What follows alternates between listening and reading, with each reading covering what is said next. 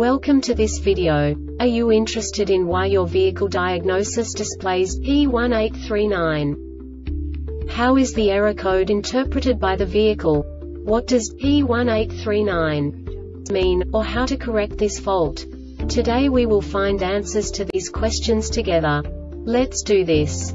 First, let's look at the history of diagnostic fault code composition according to the OBD2 protocol, which is unified for all automakers since 2000. We divide the electric system of automobile into the four basic units.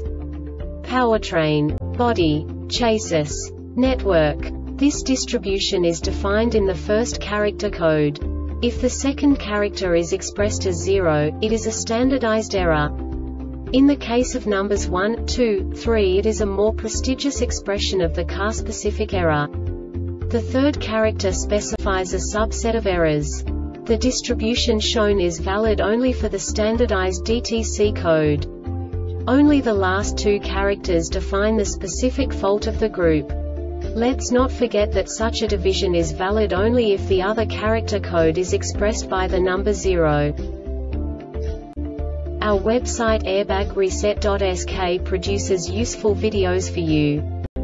You do not have to go through the OBD2 protocol anymore to know how to troubleshoot any car breakdown. You will find all the diagnostic codes that can be diagnosed in a Toyota vehicles. Also many other useful things. The following demonstration will help you look into the world of software for car control units. You unbelievably can move the video a bit further. The error code is split into two bytes consisting of 16 bits. One bit is the basic unit that each computer works with.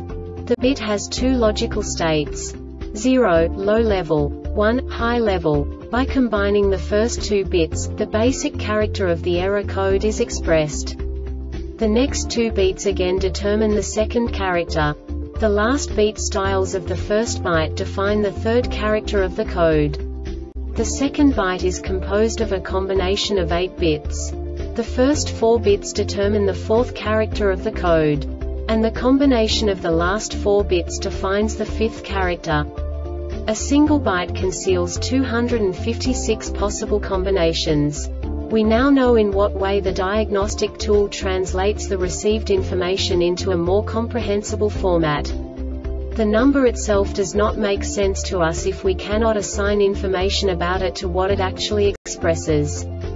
So, what does the diagnostic trouble code P1839 interpret specifically Toyota car manufacturers? The basic definition is Occupant Classification Sensor S1 malfunction. And now this is a short description of this DTC code.